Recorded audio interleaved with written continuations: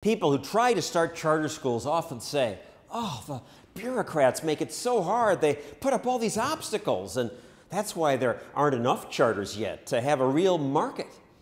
Except in one town, most kids now attend charters. How'd that happen? Hurricane Katrina on track to make a direct hit on the low-lying city of New Orleans. It happened because of a hurricane. And all eyes on New Orleans, not only a famous city, but below sea levels. This entire area will be underwater.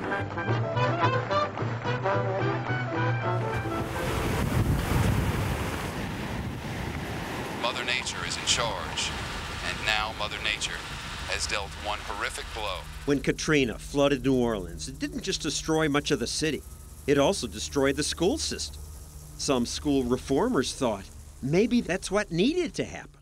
It was probably one of the worst school districts in the country. It was a horror. Before Katrina, our schools, I mean, they were just failing. The choice was do you rebuild what was there or do you build something entirely new? Louisiana built something new. They made it easy for people to open charters. You tell the state, here's my plan. Ben Marcovitz started a charter school called Sci Academy. We have complete control over the quality of our instruction. When he started his school in 2008, he was the only employee. He drove his car around New Orleans until 3 in the morning, putting up signs advertising his school. And you see this, this number right here, that was my cell phone. He had to advertise because students had to choose to go there. They didn't just get sent here because they live nearby. We were putting these up everywhere. He even went to people's houses to recruit. Living in New Orleans, we've never had that. Her son Reggie goes to Sci Academy. He came out and he interviewed, he talked to me, then he talked to Reggie, and he was explaining to him about the hours and academics and stuff. When the school opened, only a third of the students were proficient on state tests. I know half of them didn't know how to read. Now, Sci Academy's test results are among the best in the city, even though the school itself is just a bunch of trailers. There's a plan in my mind to have a permanent building, but if you walk into a school and the first thing they tell you are complaints about their facilities, they're probably not focused on the right things. How did Sci Academy do it?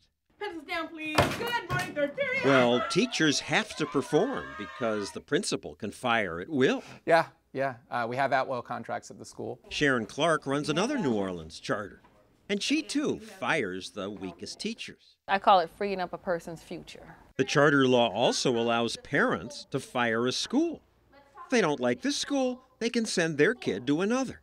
Sharon needs to work hard because she worries about losing her charter. Yes, every day, sir. Good morning, class of 2013. Good morning, Miss Hubble. That competition drives schools to try different things, like this morning ritual at Sci Academy. Who are you? A scholar. My education is my future, and the future is now. How are you here? This seems a little cult-like, and some kids didn't take it seriously.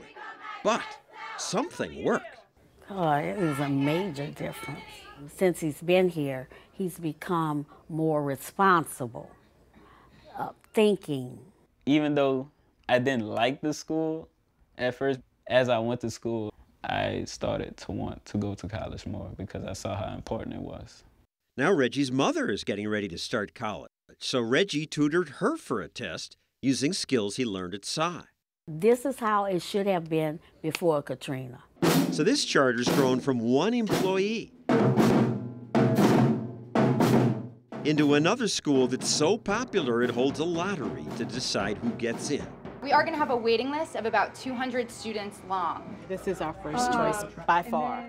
As you saw in Harlem, nervous kids and relatives sit anxiously, hoping their name will be called. Some go away happy. Thank Yay, Most do not.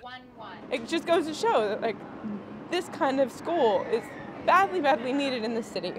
And this kind of education is exactly what we need to be offering to every single kid. Today, most kids in New Orleans attend charter schools, and test scores across the city are better. Many of the greatest cities in the world have been reborn amid crises. The Chicago fire resulted in a greater Chicago being built. The San Francisco earthquake resulted in a much more dynamic, safer city emerging. The fire of London resulted in a, in a much greater capital emerging. Well, you know, people in New Orleans are rebuilding the city for the better.